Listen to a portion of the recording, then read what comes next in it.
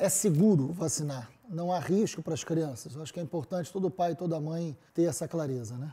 Sem dúvida nenhuma, a vacina é segura e ela é muito efetiva, em especial para a Covid, que é a doença mais perigosa no Brasil nesse momento.